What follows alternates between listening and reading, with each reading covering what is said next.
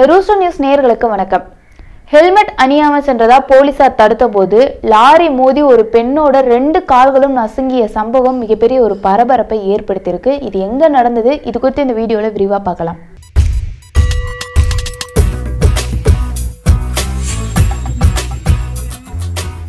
சமீபத்துல வாகன சட்ட திருத்த மசோதா கொண்டு வரப்பட்டது. இதுக்கப்புறமா பார்த்தா ஹெல்மெட் போடாதவங்க சீட் பெல்ட் போடாதவங்க போக்குவரத்து விதிகளை மீறவங்கன்னு எல்லார் மேலேயுமே சரமாரியா வந்து அபராத தொகை போடப்பட்டது. அதுவும் அபராதம்னா நூறு இரநூறுன்னு கிடையாது.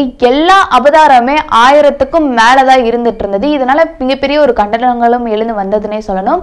மேலும் இருசக்கர வாகனத்துல போறவங்க எல்லாருமே ஹெல்மெட் போடணும் அப்படிங்கிறது கட்டாயமாக்கப்பட்டது. அவங்க மட்டும் இல்லாம இருசக்கர வாகனத்துக்கு பின்னால உட்காந்து போறவங்க கூட கட்டாயமா ஹெல்மெட் அணிய வேண்டும் அப்படின்னு சொல்லியிருந்தாங்க. அப்படி ஹெல்மெட் போடாம போனவங்க மீது கடுமையான ஒரு தண்டனை எல்லாம் கொடுக்கப்பட்டுச்சு. மேலும் மிகப்பெரிய அபராதங்கள்லாம் அவங்க செலுத்தி அது சமூக வலைதளங்கள்லாம் வந்து மிகப்பெரிய ஒரு வைரலா போயிட்டு இருந்தது அந்த வகையில மக்கள் எல்லாருமே சமூக வலைதளங்கள்லயே வந்து ஒரு சில கேள்விகளை எழுப்ப ஆரம்பிச்சாங்க. எதுக்கு இவ்வளவு அதிகப்படுத்தப்பட்ட அபராதங்கள்? எங்களுக்கு இது தேவை கிடையாது. மேலும் ஹெல்மெட் போடாம இருக்கறனால தான் வந்து உயிர் சேதங்கள் ஏற்படுதா? இல்லைன்னா உயிர் சேதங்களே ஏற்படலையா? போன்ற பல கேள்விகளை அவங்க முன் வச்சு வந்தாங்க. இந்த மாதிரியான ஒரு சூழ்நிலையில தான் ஹெல்மெட் போடாம ரெட் ஹில்ஸ் பகுதியில போயிட்டு இருந்த ஒரு இளம் பெண்ணுக்கு நேர்ந்த ஒரு நிகழ்வு மிகப்பெரிய பரபரப்பை ஏற்படுத்தியிருக்கு. சென்னை செங்குன்றத்தை அடுத்த பாடியநல்லூர் பகுதியை சேர்ந்தவர் தான் யுவனேஷ். இவர் ஒரு தனியார் கம்பெனியில பணிபுரிந்து வந்துட்டு இருக்காரு இவருக்கும் பிரியாங்கிறவங்களுக்கும் தான் சமீபத்துல திருமணம் நடந்தது. இந்த நிலையில பிரியா இரவு ஒரு ஏழரை மணிக்கு வந்து தன்னோட தாயார் பிறந்த நாளை கொண்டாடணும் அப்படின்னு முடிவு பண்ணிட்டு பக்கத்துல இருக்க ஒரு பேக்கரியில வந்து கேக் வாங்கிட்டு போய் அம்மா பர்த்டேவை ரொம்ப பெருசா செலிப்ரேட் பண்ணலாம் அப்படின்னு ஒரு முடிவு பண்ணியிருக்காங்க. இதை தொடர்ந்து அவங்களும் பைக் எடுத்துட்டு அங்க பக்கத்துல இருக்க ஒரு கடைக்கு போய் கேக் வாங்கிட்டு திரும்பி வீட்டுக்கு வந்துட்டு இருக்காங்க அப்படி பிரியா போயிட்டு இருந்த அந்த பகுதியில காவல் உதவி மையம் இருந்திருக்கு. அந்த உதவி மையம்ல இருந்த உதவி ஆய்வாளர்கள் வந்து வாகன சோதனையில ஈடுபட்டிருக்காங்க. ஹெல்மெட் அணியாம யார் யார் போறாங்களோ அவங்களெல்லாம் பிடிச்சு வந்து வழக்கு பதிவு செஞ்சுட்டு இருந்தாங்க அப்போதான் செங்குன்றம் திருவள்ளூர் நெடுஞ்சாலையில வந்து அந்த பாதையை கடக்கிறதுக்காக பிரியா முயற்சிக்கிறாங்க. அப்படி போகும்போது அவங்க ஹெல்மெட் அணியாம போயிருக்காங்க. இதை பார்த்து அங்க இருந்த அந்த காவல் படையினர் எல்லாருமே வந்து ஹெல்மெட் அணியாம போயிட்டு இருந்த பிரியாவை தடுத்து நிறுத்துறதுக்காக கம்பால அவங்க வாகனத்தை தடுத்து நிறுத்திருக்காங்க இதுக்கப்புறம் அவங்க உடனே சடன் பிரேக் ஒன்று போட்டிருக்காங்க. இதனால பின்னாடி வந்துட்டு இருந்த லாரி அந்த பிரியா அவங்களோட இருசக்கர வாகனத்துல மோதுது. மோதமே அவங்க நிலை தடுமாறி கீழே விழுகுறாங்க. இது தொடர்ந்து அப்படியே அந்த லாரி அந்த பிரியாவின் கால்கள் மேல ஏறி இறங்கி இருக்கு இதனால அவங்களோட ரெண்டு கால்களுமே நசுங்கி இருக்கு வலியால அலறி துடிச்சிட்டு இருந்த பிரியாவை அந்த பகுதியில இருந்த பொதுமக்கள் எல்லாருமே தூக்கிட்டு அரசு ஸ்டான்லி மருத்துவமனையில வந்து சேர்த்திருக்காங்க. தீவிர சிகிச்சையில வந்து அவங்க இருந்துட்டு இருக்காங்க. இந்த நிலையில பிரியாவின் கால்கள் நசுங்கப்பட்டதற்கு காரணமே வந்து காவல்துறை அதிகாரிகள் தான் அப்படின்னு பொதுமக்கள்லாம் குற்றம் சாட்டி வந்துட்டு இருக்காங்க. இதை தொடர்ந்து அன்று இரவே வந்து செங்குன்றம் திருவள்ளூர் நெடுஞ்சாலையிலேயே அந்த பகுதி மக்கள் எல்லாருமே சாலை மறியல்ல ஈடுபட்டிருக்காங்க. அது மட்டும் இல்லாம பிரியாவின் இந்த நிலைக்கு காரணம் யாரு? யார் மேல வழக்கு பதிவு செய்ய போறீங்க?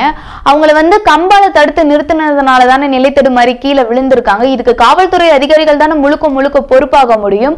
அந்த காவல்துறை அதிகாரி மேல என்ன வழக்கு தொடர போறீங்க போன்ற பல கேள்விகளை முன்வைத்து தான் அவங்க சாலை மறியல்ல ஈடுபட்டிருக்காங்க. இது மட்டும் இல்லாம அந்த காவல் படையினர் நிறுத்தி வைத்திருந்த இருசக்கர வாகனத்தை அடிச்சு நொறுக்கி அதுக்கு தீயும் வச்சிருக்காங்க. இதையடுத்து தகவல் இருந்து சம்பவ இடத்திற்கு விரைவு கூடுதல் போலீசார் வந்து மக்கள் கிட்ட பேச்சுவார்த்தை நடத்தியிருக்காங்க. அப்பவும் மக்கள் இதே கேள்விதான் முன்வைக்கிறாங்க.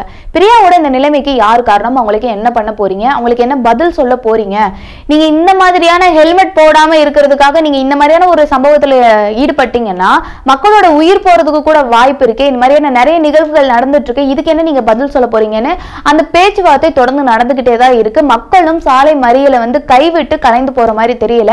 உடனே போலீசார்கள் எல்லாமே வந்து அந்த பொதுமக்கள் மீது தடியடி நடத்தி அந்த இடத்த வந்து கிளியர் பண்ணி விடுறாங்க. இந்த விபத்து தொடர்பாக காவல்துறை அதிகாரிகள் எல்லாருமே வழக்கு தொடரப்பட்டு விசாரணை மேற்கொள்ளப்பட்டு வருவதா சொல்லியிருக்காங்க. ஆனா யார் மேல வழக்கு பதிவு போடப்பட்டிருக்கு? யாரை வந்து விசாரணை செஞ்சுட்டு இருக்காங்கன்னு தெரியல. ஆனா போராட்டத்துல ஈடுபட்ட ஏழு பேரை வந்து அந்த காவல்துறை அதிகாரிகள் வந்து கைது செஞ்சிருக்காங்க.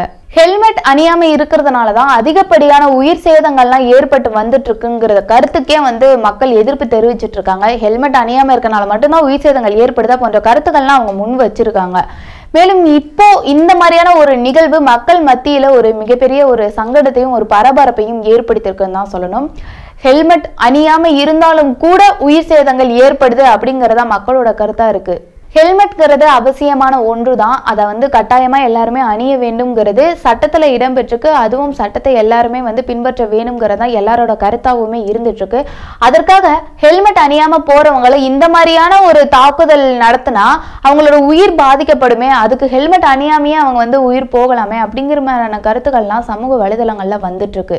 காவல்துறை அதிகாரிகளின் இந்த நடவடிக்கை பல மக்களோட உயிர்களை காவு வாங்கும் அப்படிங்கிறதா மக்கள் அனைவருடன் கருத்தாவே இருந்துட்டு இருக்கு மேலும் இது போன்ற செய்திகளுக்கு த ரூஸ்டர் நியூஸ் சேனலை சப்ஸ்கிரைப் பண்ணவும் நன்றி. வணக்கம்.